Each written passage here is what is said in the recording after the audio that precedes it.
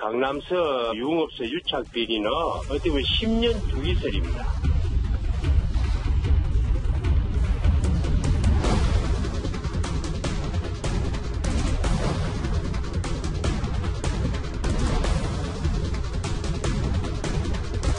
특이한 점은 브로커 역할을 했던 사람들이 전부 다 전직 경찰관입니다.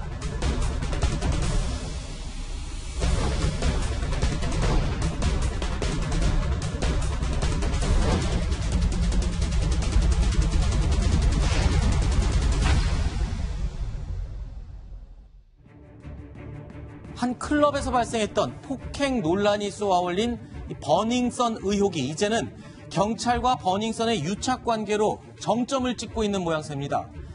사실 경찰과 유흥업소 간의 유착 비리 의혹은 이번이 처음이 아니죠. 지난 1999년 인천 화재 참사로 드러났던 유착 비리 그리고 딱 10년 후 지난 2009년이었죠.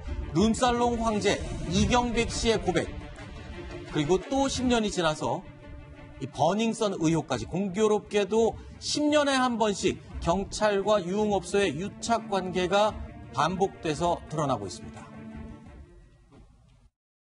강남서 그 유흥업소 유착 비리는 예. 어떻게 보면 10년 주기설입니다. 룸사롱은 그 지역의 유흥업소 중에 영업 규모 면에서 제일 크기 때문에 예. 10년 정- 정도 하면은 그 지역 그 경찰관을 어, 매수할 수 있는 어, 시기가 되지요.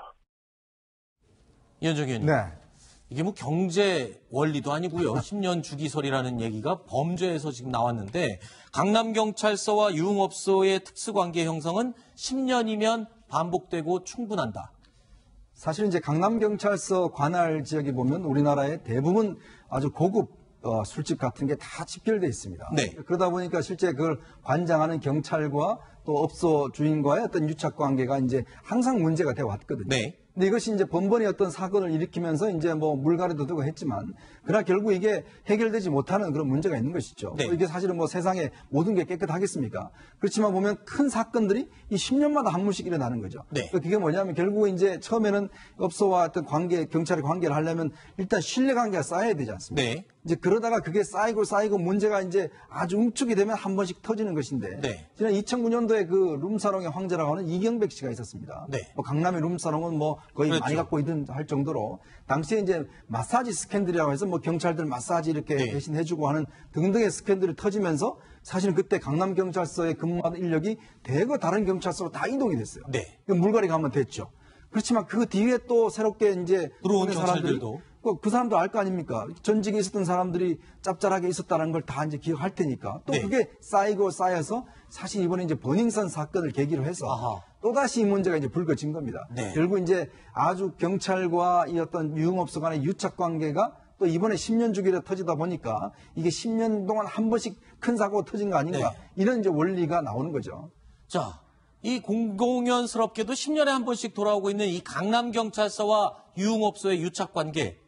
과연 이들의 연결고리 뭐였을까요? 다름 아닌 전직 경찰관입니다.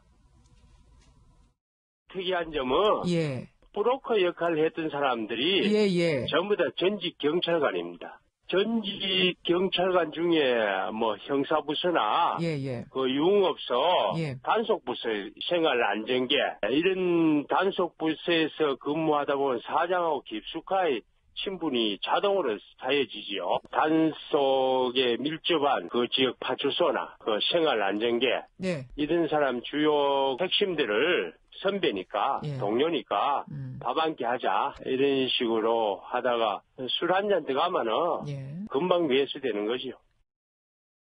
아, 근데 저 말대로라면 그럼 전직 경찰관이라는 존재가 있는 한은 유착 관계를 끊을 수 없다 이런 얘기가 되는 건가요? 전직 경찰관을 없앨 수도 없는 일 아닙니까? 전직 경찰관은 아주 엄밀하게 말씀드리면 네. 대한민국에서 유흥업소하고 또 유흥업소 하고 조직폭력배가 사라지지 않는 한저 네. 유착 관계 못 끊죠. 아하, 왜요? 예? 그러니까 공세 일, 이걸 뭐라고 그래야 될까요? 그러니까 네. 우리나라뿐만 아니라 항상 뭐 외국 영화들도 봐도 항상 유흥업소 같은 경우에는 네. 탈법과 불법이 판을 칩니다. 그렇죠. 모든 유흥업소가 그런 것은 아니라고 제가 할게요. 뭐 일부라고 하겠습니다. 어찌됐든 네. 왜냐면 유흥업소 보면은 술 있죠. 네. 여자 있죠. 그러니까 탈세, 그다음 불법 주류, 미성년자, 거기다 성매매까지 온갖 인간의 욕망과 관련된 불법들이 파밀칠 수 있는 게 유흥업소 아니겠어요? 그렇죠. 비단 뭐 강남뿐만 아니라 강북도 마찬가지, 지방도 마찬가지입니다. 그런데 유흥업소에서 그런 탈법이 있을 수 있다라는 건 누구나 생각을 합니다. 네. 또는 모든 유흥업소는 아니겠지만 우리 일반 국민도 그렇게 생각하고 기자들도 그렇게 생각하고 판사, 검사, 경찰 다 그렇게 생각합니다. 거기 딱 들어가서 단속하면 뭐가 걸렸다는 걸 압니다. 네. 아 그렇기 때문에 항상 불법에 노출될 수밖에 없는 유흥업소 그 유흥업소에 대한 단속권을 가지고 있고 그런 유흥업소에서 불법이 저질러진다는 걸 누구보다 잘 알고 있는 경찰 그 둘이 싹. 만나면 비리가 모락모락모락 올라갈 가능성은 충분한 거죠. 네. 그러니까 이게 전직 경찰관이 뭐 없다고 해서 이 구조가 없어질까? 전 그것도 아니다. 네. 자, 이 버닝썬의 경찰 유착비리 의혹도 마찬가지입니다만 지난해 7월 버닝썬에 등장한 미성년자 손님을 눈 감아주는 조건으로 전직 강남경찰서 경찰이 해결사로 등장했다는 사실 지난번 저희 뉴스탑10에서도 전해드렸죠. 그런데 말입니다. 이 해결사가 돌연 많은 기자들, 취재진 앞에 모습을 드러냈습니다. 자, 어떻게 된 일일까요? 이 얘기를 좀 살펴보겠습니다. 김태 변호사님. 네. 브로커 의혹을 받는 경찰관이 기자들 앞에 나왔어요. 이재명 차장께 여쭤보겠습니다. 예. 왜, 왜 나, 나선 겁니까? 일단 그 사건 먼저 한번 네. 짚어보면요. 그러니까 이런 거죠. 그 전직 경찰관이 화장품 회사로 이제 옮겨서 화장품 회사 임원을 하고 있었는데 네. 마침 그 화장품 행사를 버닝썬에 대대적으로 하려고 이제 준비하고 있었다고 합니다. 근데 그때 네. 마침 어, 강남경찰서로 버닝썬에서 미성년자를 출입시켰다 이런 신고가 들어옵니다. 그래서 그거를 이제 그- 만약에 그렇게 되면 영업 병지를 당하게 되면 그 대규모 화장품 행사를 못 하기 때문에 결국 전직, 전직 경찰관이 기존의 인맥인 강남서에 돈을 뿌려서 이제 그 사건을 무마했다. 이게 이제 사건의 내용이었죠. 그게 이제 경찰이 그렇게 해서 의심을 하고 있죠. 그렇죠. 그렇게 의심을 하고 있는데 등장했어요. 그분이 오늘 예 오늘 서울지방청에 오늘 이제 버닝썬의 공동 대표인 이모 씨를 소환한다길래 기자들이 모여 있었습니다. 네. 그 자리에 바로 그 전직 경찰이 나타난 겁니다. 그러면서 이 사건을 제보한 사람 그리고 이 사건을 보도한 사람 그리고 이 수사 이 수사의 경찰 여기에 뭐 조직폭력배 변호사까지 껴서 굉장히 무섭, 무섭고 치밀한 어떤 무서운 사건이 벌어지고 있다. 음모를 꾸민 거다. 본인이 그렇죠. 이거 본인이 어떤 함정에 빠진 거다 이런 본인도 지금 겁니다. 억울하게 지금 뭔가 음모에 말려든 거다 이렇게 주장을 한 그렇죠. 거죠. 그렇게 주장을 하면서 내가 이 관련된 모든 증거를 갖고 있는데 네. 경찰을 믿을 수 없으니 검찰에 관련 모든 증거를 제공하겠다. 기자들에게 이 사건은 전혀 다른 이제 엉뚱한 음모라고 주장을 한 겁니다. 이번 자, 사실 예. 영장이 기각이 됐어요. 네. 구속영장을 이제 검찰에서 아, 경찰에서 쳤는데 검찰에서 일단 돈을 준 사람이 있거든요. 이 버닝썬의 대표가 이 사람한테 2천만 원을 줬습니다. 네. 그러니까 그 돈을 중간에서 이 사람은 또 경찰한테 준 거예요. 네. 근데 경찰이 저 검찰 입장 보니까 왜 중간에 준 사람만 잡아놓고 아. 원래 돈 준 사람에 대한 수사를 하지 않았냐. 아하. 그래서 일단은 이제 기각을 시켰거든요. 네. 이제 그런 상황에서 오늘 이제 전 대표를 소환한다고 하니까 이 사람이 나타나서 내가 잘못한 게 아니라 더 큰 다른 어떤 음모가 있다. 이런 식으로 해서 맞불 작전을 사실 저는 벌인 걸로 보여집니다. 자, 브로커 의혹을 받고 있는 이 해당 정- 전직 경찰관 기자들 앞에 와서 음모론을 제기를 했습니다. 또 다른 공모 가능성에 대해서 운을 뗐죠. 그런데 버닝썬과 강남경찰서의 유착 의혹은요. 자, 덮지 못하는 그런 상황이었습니다. 실제로 버닝썬에 또 다른 강남경찰서 라인이 있었다라는 얘기까지 들려요. 이건 뭡니까 또? 강남경찰서인데 경찰발전위원회가 있어요. 네. 모든 경찰서 있습니다. 경찰 발전위원회. 네, 뭐그 위원회는 많잖아요. 지역 유지들로 이루어지는. 그러니까 일종의 검찰청에는 이제 범방이라는 게 있어요. 범죄 예방 위원회라는 게 있거든요. 네. 그 뭐가 비슷한 건데 경찰 발전위원회가 있는데 거기 위원 명단들을 보면 최모 씨가 있다라는 거죠. 네. 근데 최모 씨가 뭐 하는 사람인가 봤더니 전원산업 대표. 네. 전원산업은 뭐 하- 전원산업 뭐 하는 데인가 봤더니 르 메르디앙 호텔 소유.